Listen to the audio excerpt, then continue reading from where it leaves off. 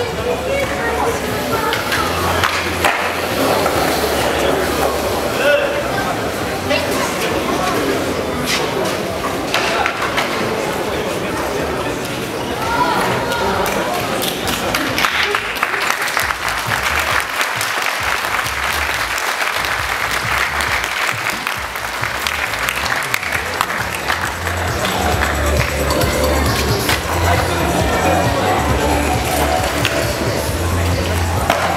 Задану минуту 43 секунды. Нокаутом победу одержала Камуза Дахиамагомедов.